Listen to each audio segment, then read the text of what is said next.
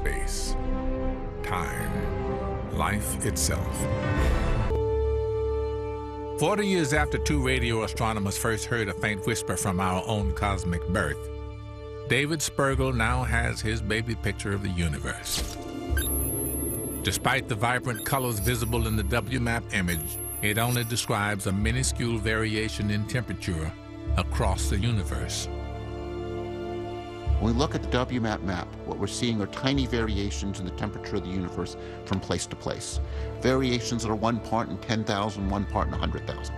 So I think of the universe we look at with the WMAP satellite as not being chaotic, but being very ordered, homogeneous, and smooth. But if time and space started in a cataclysmic explosion of energy, wouldn't the universe be uneven and messy in all directions? Not exactly. So I can't start this with not exactly, can I? For Dr. Alan Guth, what happened during this early moment in time was an intriguing mystery that had to be solved. Figuring this out became his life's work.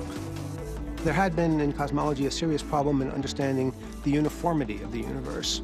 It has the same intensity in every direction that we look uh, to one part in a 100,000. And that means that the Big Bang was unbelievably uniform. And that's hard to understand because conventional explosions just don't behave that way.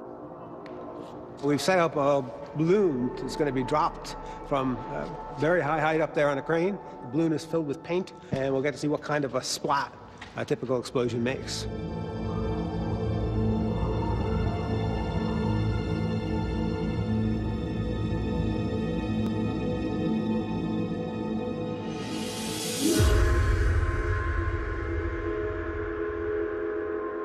So this is what a typical explosion might look like, and as you can see, it's anything but uniform. There are spots here and spots there and white spots in between.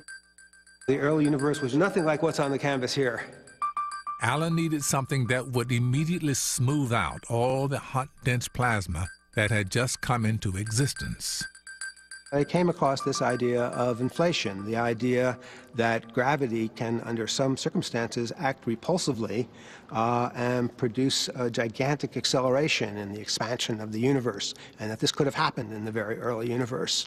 The key idea behind inflation is the possibility that at least a small patch of the early universe contained this peculiar kind of repulsive gravity material, and all you need is a tiny patch of that, and the Big Bang starts due to this repulsive gravity effect.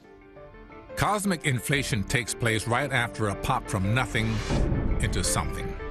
About one trillion trillion trillionth of a second afterwards, a force field takes all the highly compressed space created in that first singular moment, which is still almost infinitely small, and drives it out. A tiny fraction of a second later, the universe has doubled in size 100,000 times. A different kind of painting illustrates this idea. We're going to paint in time-lapse photography a growing sphere. Instead of getting the splot that we had when we just dropped the balloon, here we should see a very smooth growth of an early universe. With this smooth and orderly expansion, our universe was formed. This idea of inflation has now essentially become the standard version of cosmology. It makes a number of predictions which have been confirmed, so it agrees very well with what we see.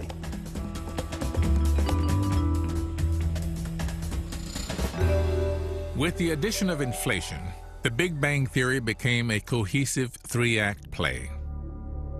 Act 1. A singularity pops into existence out of nowhere and no when, containing in one single dot all the energy that will ever be in our universe.